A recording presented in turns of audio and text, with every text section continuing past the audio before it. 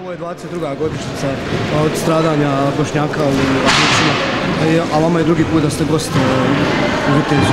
Šta možete reći?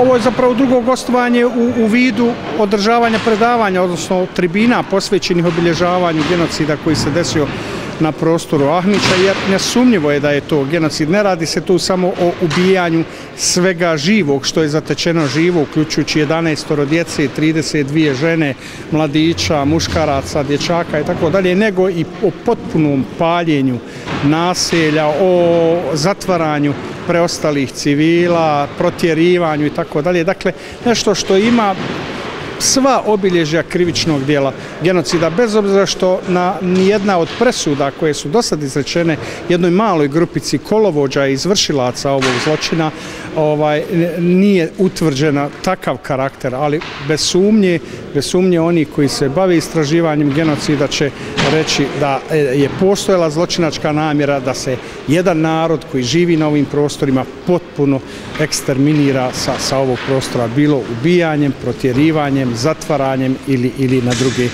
načine. E, nažalost, ni do dan danas nisu sanirane sve posljedice tih, tih zločina. Još uvijek se jedan određeni broj ljudi sa ovog područja smatraju nestalim više od njih 30 i njihove porodice, evo iako su prošle dvije decenije, još uvijek nisu došle do tog smira, još uvijek žive, preživljavaju od danas do sutra u nadi da će i oni ostvariti osnovno ljudsko pravo koje svi stičemo svojim rođenjem, a to je pravo da naši najmiliji mi sami da budemo sahranjeni na jedan ljudski, na jedan civiliziran, dostojan način.